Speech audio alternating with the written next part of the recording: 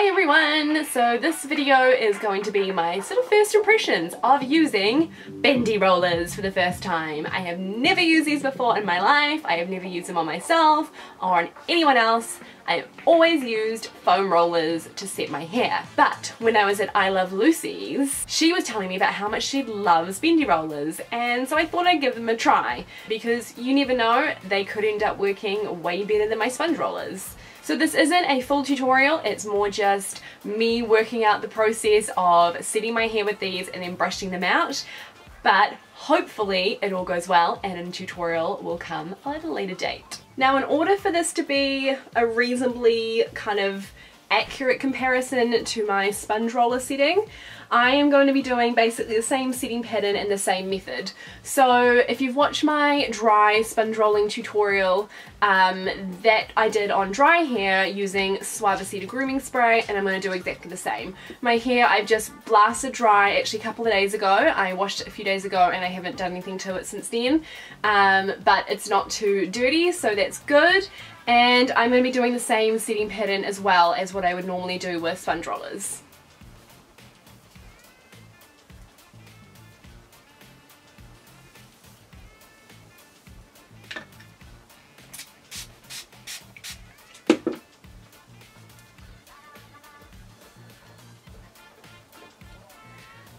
Feels like it could be a little bit trickier to get everything around, but we'll see.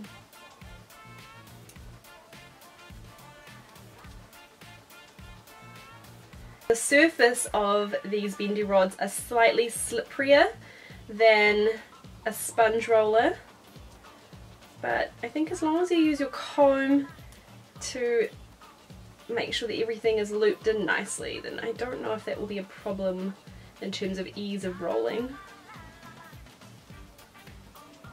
And then bend. Whoop! Is that meant to happen? Uh-oh. Hmm. Okay, so that automatically wants to do that, which I'm not so keen on. And it's feeling a, oh, very loose. Hmm, okay. Let's try that again, shall we? I think I must need to roll it a little bit tighter. I'm trying to be really make sure I'm rolling these ends like a ribbon, so like flat to the, the roller. Because if you twist too much, you're going to get a very different curl, which I don't want. Maybe I meant to do it this way.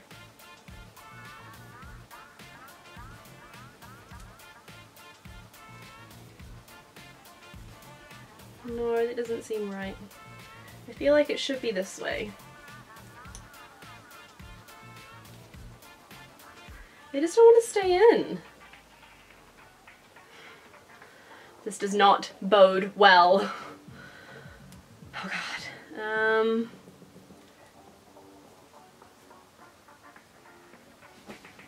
This is not going well so far.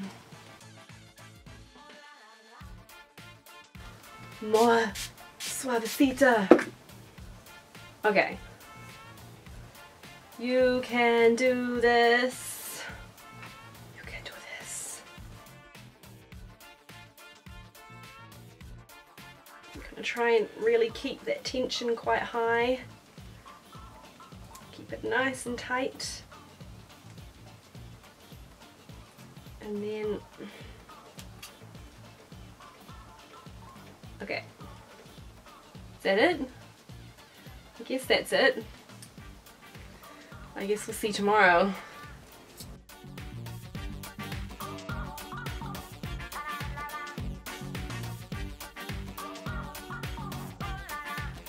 Okay.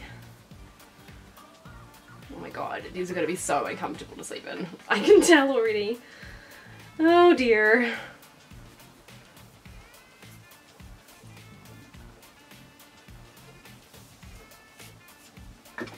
Better be a nice curl and worth it.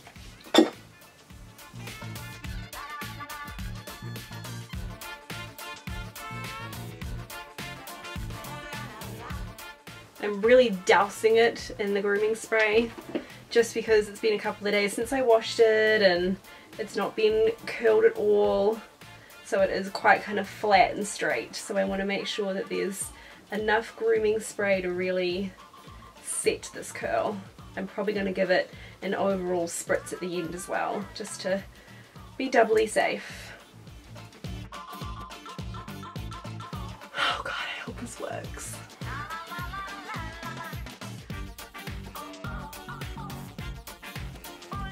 I feel like I'm getting the hang of it now, a little bit. I'm still not sure if I'm twisting it the right way.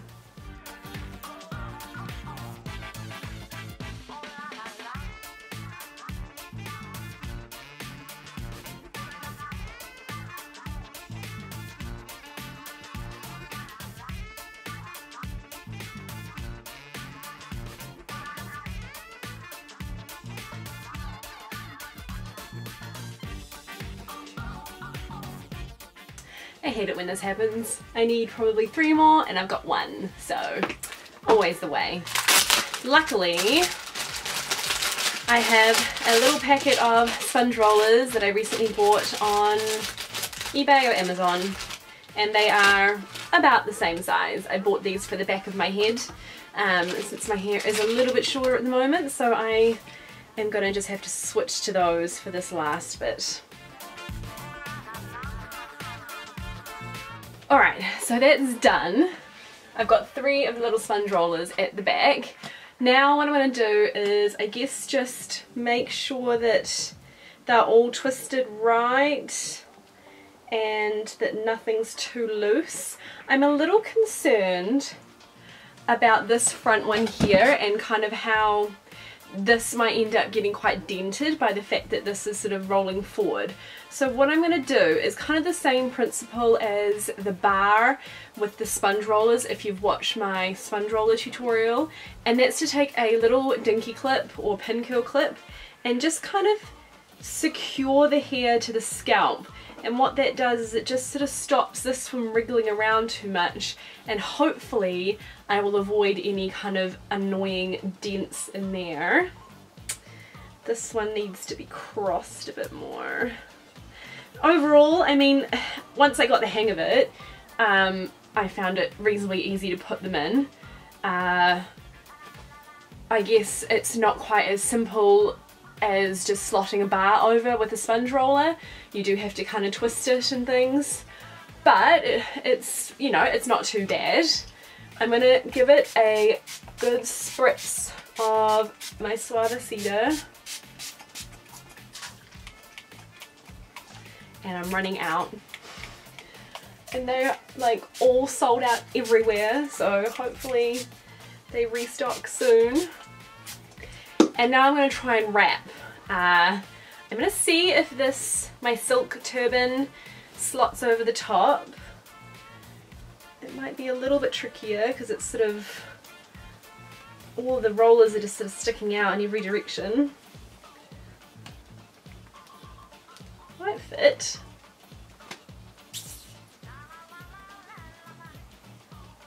This turban is wonderful though. It stays on really well better than a, a scarf, definitely. And I always tend to leave this front bit out just because if you put a scarf or my, my turban across here, you are definitely going to dent that front section. Alright, well it fits, so that's good. Very hard.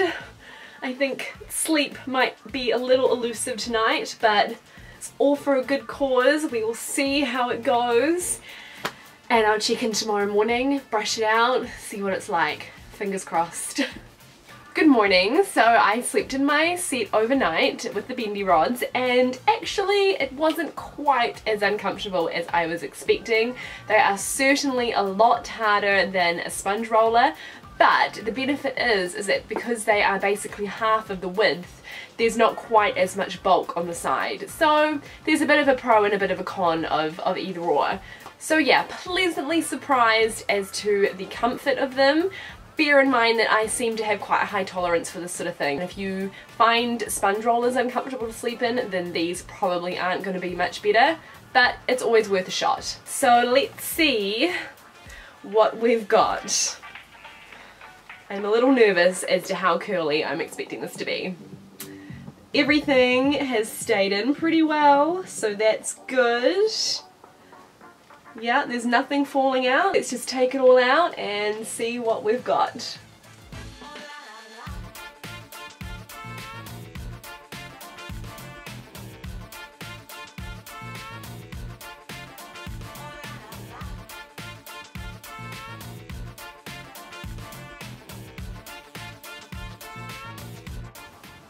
Wow. Certainly tighter than my usual sponge roller set. I have some crispy kind of ends going on. That's mostly because I used a little bit more of the grooming spray, the Suavecito grooming spray than I guess I would normally use. Um, so I think to start with brushing out, I'm going to start with my Denman dual bristle brush, which is just a little bit softer and I find it gentler on brushing out any kind of crispy, crispy curls. So let's see how this goes. I might end up like a big fluff ball.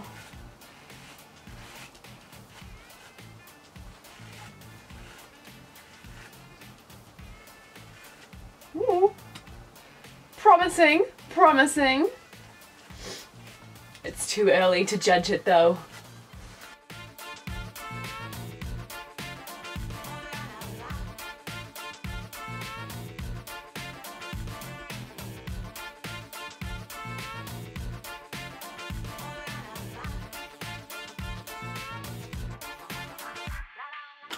I'm going to switch to now my Denman, it's the 7 row hard bristle brush. I kind of like to use the softer one first if I'm needing to really like break up curls. And sometimes if you do have a crispier set it can be a little bit knotty. And I feel like the softer brush to start with is good because you're able to break through all of those kind of knots without tearing at the hair too much and then I'll, I usually switch to this one.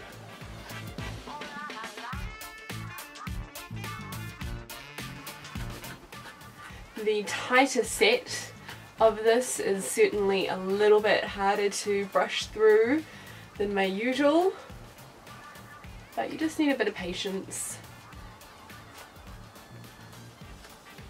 You never want to go too crazy on the brushing if you have fine hair or easily damaged hair because that can be when you get a bit of breakage.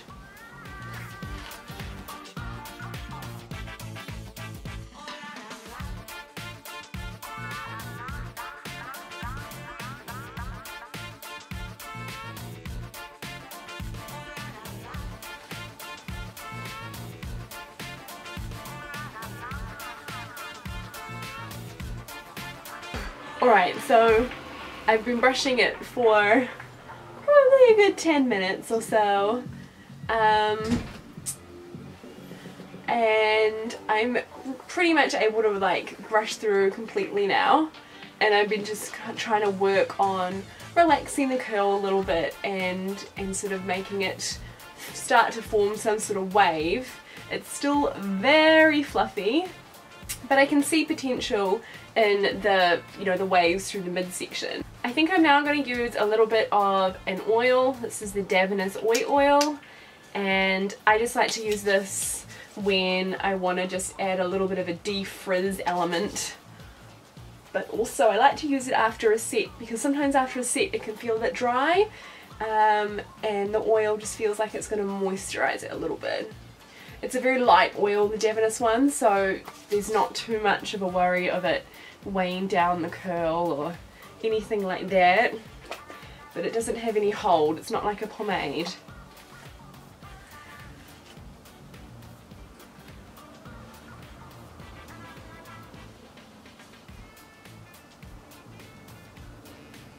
Now I'm going to try and do the swoop part.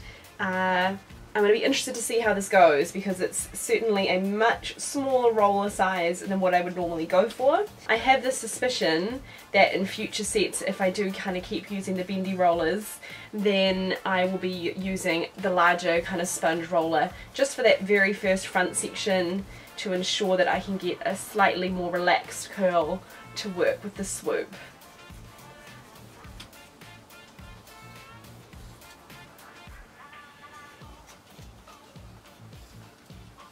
But I think because I did the set on dry here, that means that the curl is not quite as intense as if I'd done like a full wet set.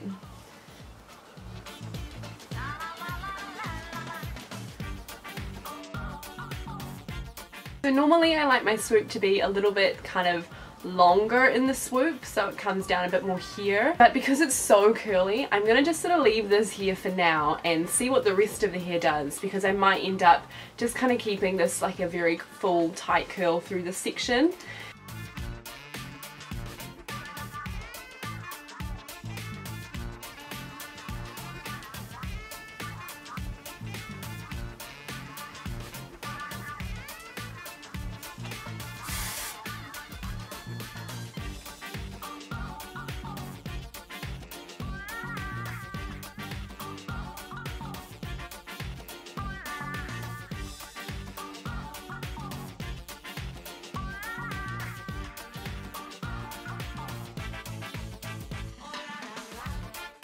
Okay, so this is the end result. I just sort of fumbled my way through it trying to find the best way to brush it out to suit the set. Um, so I know that some of you might be wanting a bit more detail in what I was doing, but what I'm going to do is, since this has been a semi-successful set, I am going to just do it a few more times, get used to working with this tighter curl, and then I will film a full tutorial that kind of really goes through step by step and in a little bit more detail. But overall, I am pretty happy with the result. As I said at the start of the video, I have basically always, always used sponge rollers. I have never really used anything much else for a wet set. So I'm glad that uh, trying something new has resulted in a successful result. Uh, my pros and cons for the bendy rollers. Pros would be that you do get a tighter curl. I mean obviously they come in different sizes but you do get a tighter curl. Um, they aren't as squishy as a sponge roller so I think my curls in general were I guess a little bit more similar to a hot tong set because they're always a very nice full curl. I also like that it's quite a smooth surface. I think that might also give a slightly smoother result. Because it is a tighter curl, I have a little bit more of a um, wave through the midsection, whereas normally with my sponge rollers, um, it's more it, the curl is more focused on the bottom. The cons, I guess, would be the fact that they're not quite as easy to sleep in or quite as comfortable. Um, I find them a little bit fiddly with the twisty part, but I think that would, you know, become quite easy and second nature once I've had a bit more practice. I think one thing you would have to be careful of if you're trying these for the first time is the temptation to wrap the hair around the whole rod in sort of a spiral motion and that is not going to produce a vintage curl. So I think you do have to try, even though it's tempting because it is long and you have all that surface area, um, I think you have to treat it like a, a, just a regular roller and wrap it around, try and wrap it like a flat ribbon and that way you're going to get that true vintage curl. But yeah, I mean overall I am pretty impressed and I am looking forward to perfecting my brush out so that I can record a full tutorial for you guys. Thank you very much for watching. I'm going to list all the products that I used today in the description box below. Make sure that you check out my other tutorials. I do have a dedicated one on sponge roller setting and then the brush out as well as a couple of other hair tutorials. If you liked this video then please give it a thumbs up and subscribe to my channel. You can also follow me on Facebook, Instagram and my blog and I'll see you next time.